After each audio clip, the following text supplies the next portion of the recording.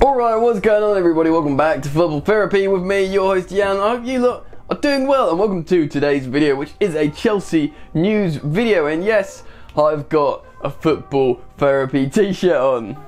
In today's video, I'm going to be talking about three things. Firstly, Conor Gallagher's superb form down at Charlton Athletic in the Championship, and what that means for Frank Lampard's youth charged side. Can he get in next season, or will he clash with Mason Mount? What's going to happen there? I'm also going to be talking about Christian Pulisic. How really, if you're looking at how he could fit into this Chelsea team, maybe he is a number 10 and not a winger, and actually offers something completely different to Mason Mount. Yep, talking about Mason Mount again. All these players threatening his position.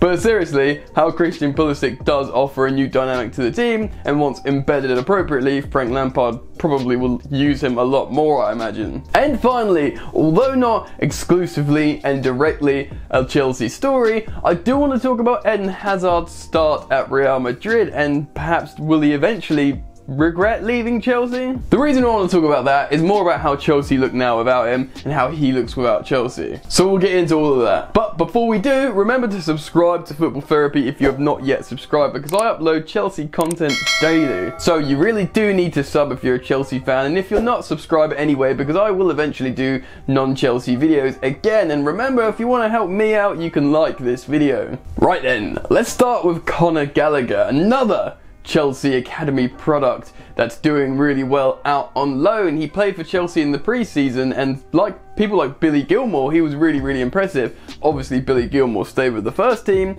but Conor Gallagher went on loan to Charlton. Now, I think perhaps if Chelsea didn't have the likes of Mason Mount in their ranks playing, well, that was always going to play for the first team this season, Conor Gallagher might have actually stuck around because he looks absolutely superb in pre-season for Frank Lampard. But he's gone down to the Championship to Charlton. He's already scored five goals and got an assist. Now he's playing in the same position and same role generally as Mason Mount, and he's a bit of a different player actually in terms of his style and expression.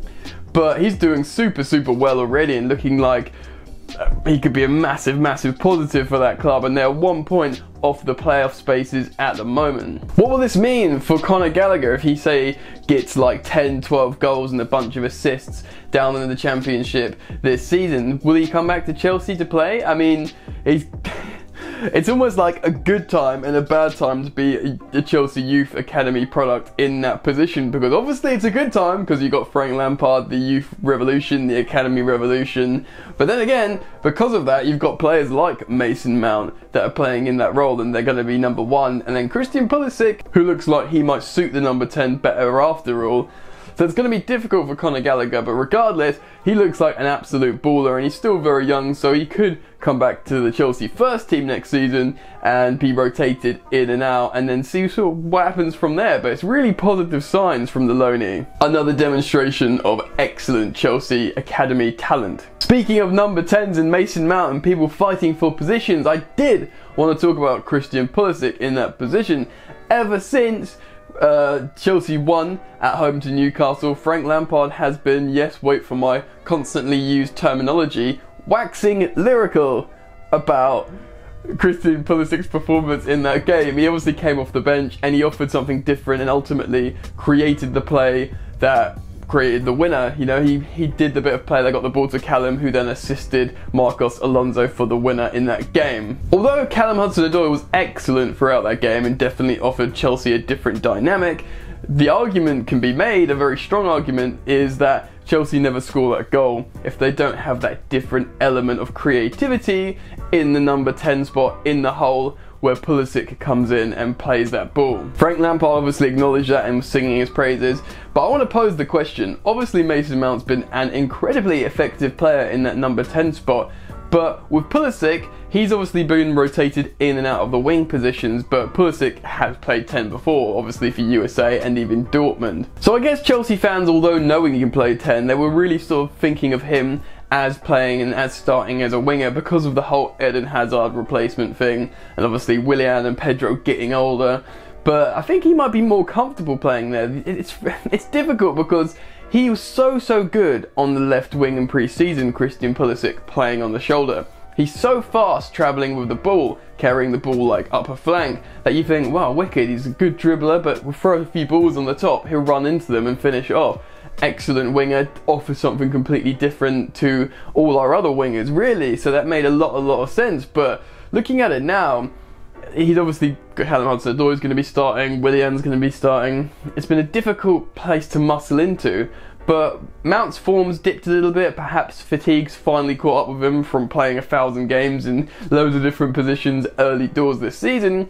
And when Christian Pulisic went into the hole, his creativity and the way he plays is different actually offered Chelsea something much needed at the time. Mount's obviously very direct and wants to play quick one-touch combinations, pop a shot off or get an assist, or press and jump on the opposition defender or CDM in possession. Very, very direct and quick. But Christian Pulisic is a little bit more of a dribbler. He wants to hold on to the ball and look for that different pass. Something a bit different to Mason Mount. He has got that sort of creative dribbling winger attribute, but he uses it as a number 10, which is just a bit different. He gets that different pass when he finds Callum Hudson-Odoi to assist Marcos Alonso. Like the goal at Southampton when he came on and assisted Michy Batshuayi. It's that little different pass that he does. He's good on the ball, but he just he's he's thinking slightly differently to how Mason Mount will think, and I think there's a lot of thinking going on there. That that's a really strong attribute, and Frank Lampard will probably start thinking of him as a number 10 to be rotated in and out with Mason Mount, but also obviously being used on the wing. Now, when Chelsea signed Christian Pulisic, everyone was like, oh, well, he can play across the three behind the striker, both wings and the 10. Fine, but everyone thought he's going to play left wing or right wing, but now it could be a number 10 and Mason Mount might have something to worry about and you know what? That's probably a good thing. Marcos Alonso started playing better when Emerson was playing better and took a spot. Competition for one space in the team is healthy. And if Mason Mount and Christian Pulisic are both pushing each other for that same number 10 spot offering something different and trying to demonstrate their own skill set more and more and more it's very, very good for Chelsea, and hopefully the whole team performance raises up even more. What do you think? Get down in the comments. I want to hear your opinions on the number 10. Let me know who would you start, or do you think they should just be in direct competition and rotated a lot? Finally, I want to talk about Chelsea's recently departed talisman. Chelsea's, well, arguably Chelsea's most talented ever player, if not best. I think Frank Lampard's Chelsea's best ever player, but Eden Hazard basically. Served the club incredibly well, went in a good fashion, respectful fashion, and out with a bang and helped Chelsea win a European trophy. In some style, might I add. Eden Hazard went with Chelsea fans' blessing to Real Madrid. There you go. but things have started slowly for him, and it's kind of sad to see. Obviously, the fashion of Thibaut Courtois leaving Chelsea left a bad taste in the mouth, so no one really cried for him when he basically entered a poor patch of form for Madrid. But Eden Hazard, he has scored a wonderful goal for them and demonstrated little spells of flashes of brilliance, but he started slow, he was overweight, in poor fitness, he sustained an injury, and he's starting to sort of show poor form, really. Unsurprisingly, some Real Madrid fans have turned on him as they just turn on everyone all the time, and they're saying, oh, we brought the wrong Hazard, oh, Hazard's, you know, he's only playing because he's the captain of Zidane FC and all this, but he Although he assisted the only goal in the Champions League in that 1-0 win against Galatasaray, Hazard missed an absolute sitter. He had an open goal and he managed to hit the crossbar, which is just so unlike him. And also, he gave the ball away a lot of times. He, I don't know if he was trying to overplay or didn't know where his teammates were.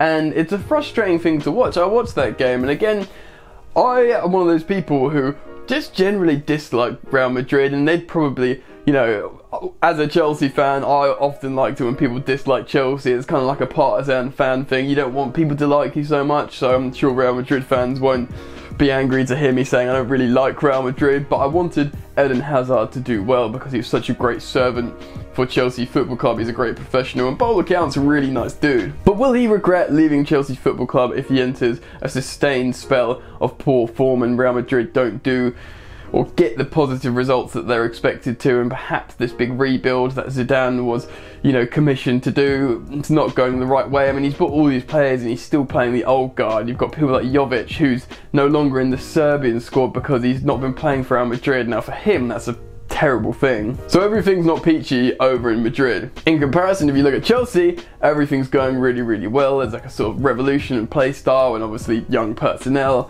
Um, will he look at that and think, man, maybe I should have stayed? Frank Lampard's there now. He would have let me express myself like the other forwards currently are. I felt confident at Stamford Bridge to play my game and be the best version of myself. Will he look back and think that?